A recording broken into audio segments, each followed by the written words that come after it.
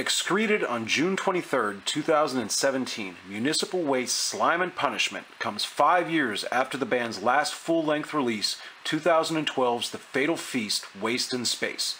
Far from unproductive, our thrashing sanitation workers have further honed their chops with such projects as Iron Reagan, Cannabis Corpse, and Bat, to name only a few. Returning to their regular route with municipal waste, however, this newly minted five piece band realizes a heightened vigor and increased potency on this laser focused release. 14 tracks of metal thrashing glory, slime and punishment kicks off the summer on a righteous pit stomping foot. Breathing grease and exhaling fire, the hefty thrash of breathed grease hits the ground running with a stiff punch, while Enjoy the Night bounces from the speakers with urgency as the song's final half twists and turns with assured revelry.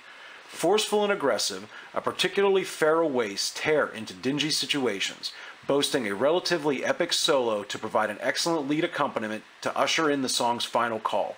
A snarling bass underlines the substantial and quick-paced riffing on shrednecks. A skipping gallop dominates as the song's final third provides a musical throwdown that is sure to incite some good old-fashioned pit violence. Built around some of the gnarliest riffs in Municipal Waste catalog, Poison the Preacher boasts a hydra-headed riff apocalypse, while a dark and twisted vocal emanating from guitarist Ryan Waste elevates this rollicking thrasher. On Bourbon Discipline, a frenetic guitar churn and Tony Foresta's viciously spit lyrics rage against one another, reaching a hostile and rancorous pinnacle in Bourbon Discipline's closing seconds. Like a fugitive on the run, Parole Violators powers forward with urgency, the song's lurking moments periodically circling until breaking into an open thrashing sprint. Lending its name to the album, track number 8, Slime and Punishment, finds itself at the album's fulcrum hitting a mid-paced thrash sweet spot.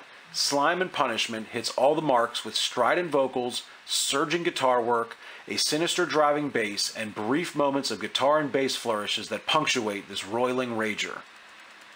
Amateur Sketch slams the listener with frenzied vocals and incessant riffing for a quick-hitting, good old thrashing time while excessive celebration finds a pulsing bass from landphil, undermining the elevating moments and viciously churning destruction that highlights this brief 1 minute 29 second excursion. An insidious grind and pound opens low tolerance, landphil's bass punctuating the proceedings before getting down to business.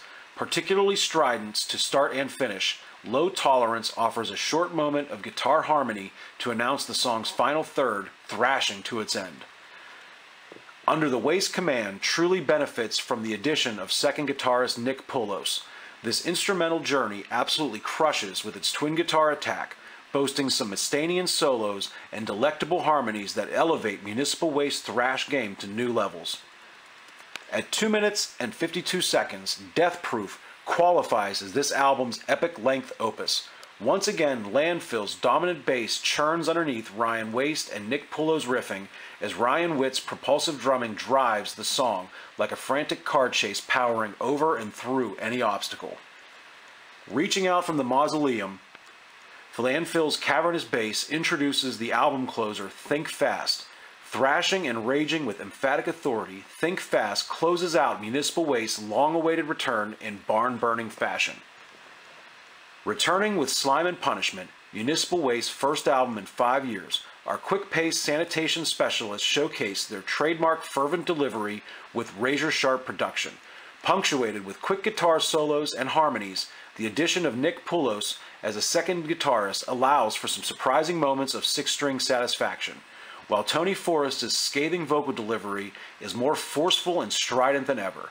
Boisterously fortified by the dominant bass work of Landphil and Ryan Witt's timekeeping dominance, Slime and Punishment finds Municipal Waste strengthening their propulsive thrash foundation while finding room for increased musical exploration with brief moments of guitar harmony and solo indulgences from Ryan Waste and Nick Poulos, and a domineering bass display from Landphil bubbles to the surface. A further refinement of municipal waste signature thrash stylings, Slime and Punishment opens the summer on a rollicking kick with 14 tracks of thrashy goodness, an excellent return from these Richmond standouts.